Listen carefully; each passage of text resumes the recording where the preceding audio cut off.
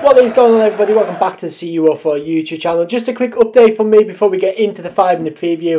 Um, there will be a timestamp below if you want to just skip into it. But I am in the process of moving house over the next coming weeks. Um, I will be moving to Carlisle and I'm also um, going on holiday in the next couple of weeks. So everything's just a bit all over the place here in the CU04 household. So that's why there's been a bit of delay with these videos, but they'll be back to normal schedule soon. Going on everybody? Welcome back to the 5 minute preview. It is Carlisle United versus Oxford United on Saturday the 12th of August. Tomorrow, 3 o'clock kickoff at the Kassam Stadium. Um, Paul Simpson obviously well known at Oxford for his time there and probably get a good reception from them. It's going to be a very interesting match this one.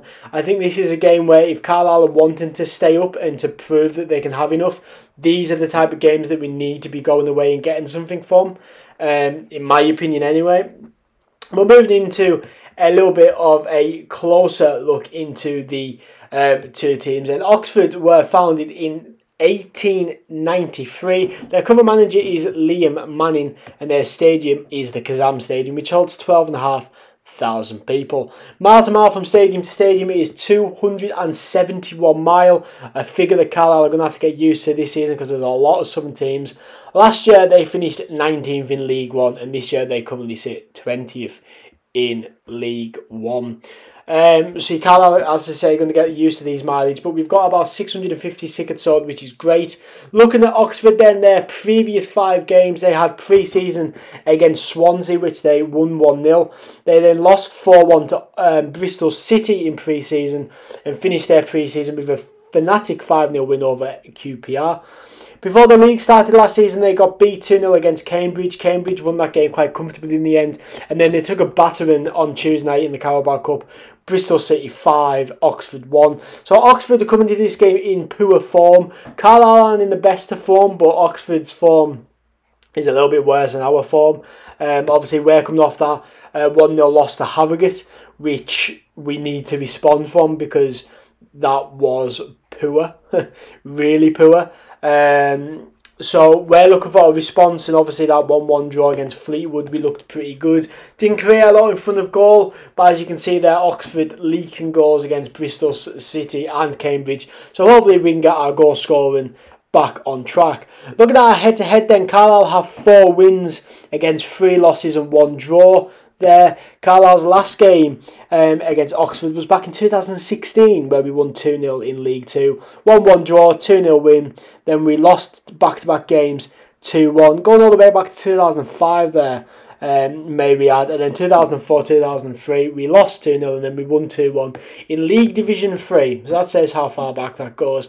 But there is the squad now. Uh, Carlisle have just signed a goalkeeper, so he will be added to that team sheet for the Wigan game. This um, I edited this on Wednesday night, so a few things have changed there. Oxford player to watch for me is that Rúben Rodrigues. I think he looks a quality player, the Portuguese international.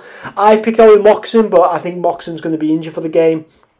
Um, so I think we, we could we, we, we could be focusing on the new goalkeeper. Will he start? Thomas Holy keep his place? My prediction for the game, though, is a 1 0 win for Carlisle. I think Oxford's form isn't the greatest, and we can go and hopefully nick an early goal and sort of settle the game from there. This is the team I've went with. We've got Thomas Holy in net, John Melly, Sam Lavelle, and Paul Huntington as a back three, Jack Armer and Finn Back as a back five. I think that back five is very solidified for the season, I would hope.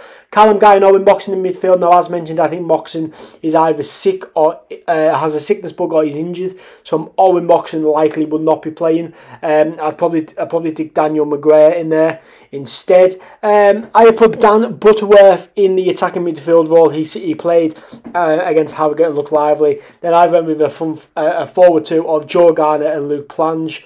Now I think that could be anyone really. Edmondson could start. Sean Maguire probably won't start for the minutes, but it could be anyone. So there is my full team. On the bench I've got Gabe Rees, Jack Robinson, Sean Maguire, Corey Whelan, Ryan Edmondson, Dylan McGrath, but he could very possibly start in replace of Owen Moxon. And I've also got Alfie McCalmont in there. You can see the other fixtures on your screen there. The um, League 2 prediction video will be live a little bit later on today. What is your prediction for the starting AI? Who would you start up front is the main question. Uh, would you keep all your net? Let me know. What's your prediction for the game as well? Let me know in the comments down below. As I say, uh, sorry that the schedule's been a bit all over the place. I will get it back to normal. The Wigan preview will be live on Monday. And then the Exeter preview will be live on Wednesday. Shirt of the Week will, of course, debut on Tuesday because you guys said you wanted it, so you will get it on Tuesday. But for now, thank you for watching. I've been CU04, and I'll see you in the next one.